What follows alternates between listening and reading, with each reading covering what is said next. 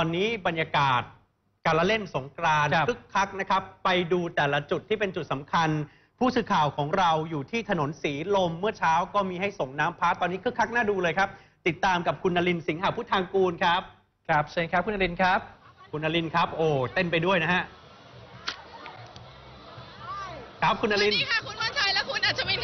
าศที่สีลมตอนนี้นะคะ ถือว่าคึกคักมากทีเดียวค่ะ ตั้งแต่ช่วงเช้าที่ผ่านมานะคะ มีการทำบุญส่งน้ำพระค่ะ แล้วก็มีการแสดงแบบไทยด้วยค่ะที่ถนนสีลมขณะนี้นะคะคือคักมาตั้งแต่ช่วงเช้าค่ะมีการจัดเวทีการแสดงนะคะ แล้วก็พิธีเปิดงานเป็นทางการค่ะ ซึ่งมีการร่วมมือระหว่างกรุงเทพมหานครนะคะ แล้วก็หลายภาคส่วนค่ะ โดยรวบรวมการแสดงที่เป็นศิลปะพื้นบ้านนะคะจากนักเรียนนักศึกษามาร่วมกันอย่างคับข้างค่ะ นอกจากนี้นะคะยังมีการเตรียมการให้ประชาชนได้ส่งน้ำพระหลังจากการแสดงเสร็จสิ้นด้วยค่ะทั้งนี้นะคะต้องย้ำอีกครั้งค่ะว่าถนนแห่งนี้นะคะ ได้รณรงค์ในการเล่นน้ำค่ะ เหมือนเช่นทุกแห่งนะคะ ก็คือขอความร่วมมือกับนักท่องเที่ยวค่ะ ไม่ให้เล่นแป้งนะคะ ไม่ให้ใช้กระบอกน้ำความดันสูง ไม่แต่งตัวโป๊แล้วก็ไม่จำหน่ายสุราบนถนนด้วยค่ะแม้ว่าขณะนี้นะคะยังไม่มีการเล่นน้ำกันเต็มถนนเท่าไหร่นะคะ แต่ก็มีการคาดการ ค่ะ ว่าหลังจากนี้ในช่วงบ่ายจะมีความคึกคักมากขึ้นค่ะ เดี๋ยวเราไปฟังเสียงของผู้ประกอบการนะคะ ขายของในช่วงในช่วงสงกรานต์บนถนนสีลมกันก่อนค่ะเป็นยังไงบ้างคะถนนสีลมปีนี้คะคึกคักไหมคะก็ก็ก็คาดว่าจะคึกคักเหมือนเหมือนอย่างเช่นเหมือนทุกปีนะคะ เพราะว่าทุกปีก็ดูคึกคักดีนะคะ แต่ว่าการการเล่นน้ำเนี่ยมีมีมีมีการบอกว่าให้ประหยัดใช่ไหมคะ แต่ว่าก็จะประหยัด อย่างอย่างตามนโยบายของรัฐบาลคาดว่าปีนี้จะคนมีคนมาเล่นที่สีลมเยอะไหมคะ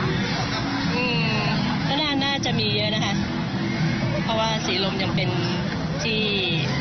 เป็นแหล่งที่เขานิยมกันอยู่อย่างวันนี้ตั้งแต่เช้านี่ขายดีหรือยังคะ ของพี่มันปกตินะ คือลูกค้าประจำก็มี แต่ว่าขาจรก็เยอะอยู่ ยังมีเยอะอยู่ยังได้เรื่อยๆ แต่ปกติแล้วพี่ไม่ได้ขายกาแฟจะขายน้ำแข็งอย่างเดียวปีนี้เงียบกว่าปีที่แล้ว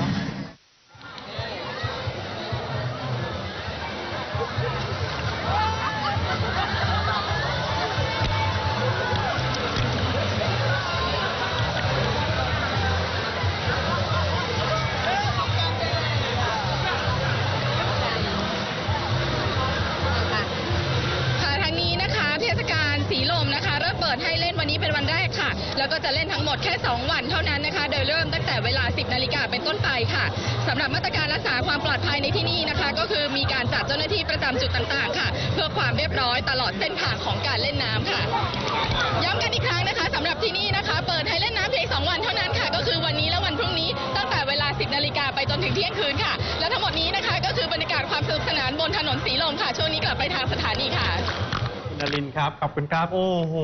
ลีลา คนเล่นกับคนรายงานข่าวไม่แพ้กันนะครับ ชอบคุณนลินทร์จริง ๆ สปิริตสุดยอดเพราะว่าคนก็ฉีดน้ำรายงานข่าวไปด้วย เต้นไปด้วย แต่คือสีลมเป็นจุดใหญ่ที่สุดของประเทศจุดหนึ่งครับ คุณผู้ชม จากนี้ไปเชื่อว่าช่วงบ่ายช่วงค่ำจะแน่นกันทุกตารางนิ้ว